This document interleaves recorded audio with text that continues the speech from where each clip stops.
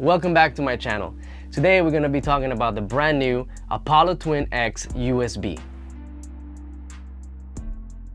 The Apollo Twin X USB is an update to the already existing Apollo Twin USB Duo. In the Universal Audio lineup, you're gonna find products that say USB at the end. What does that mean? Any product that says USB at the end works for Windows only. And on this video, I'm gonna be talking about the new features and upgrades to the Apollo Twin X USB. Alright, first of all, let's do a quick unboxing with my trusty knife.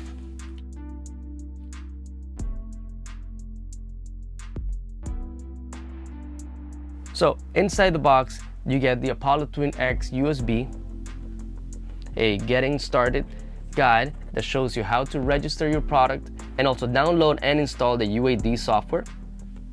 And under here, you also have the power supply. This power supply comes included with multiple tips so you can connect it into different type of outlets around the world. Let's put all of this to the side and talk about the new features of the Apollo Twin X USB. So first of all, the Apollo Twin X USB is actually an USB 3 interface, but it comes with a Type-C connector. What does that mean? So it's compatible with Type A or Type C connections. So all you need is a Type C to Type C connector or a Type C to Type A connector to go into your computer. Now let's talk about compatibility. This interface works with Windows 10 or 11 64-bit editions. Processor requirements are Intel Core i series, Xeon, or AMD processors.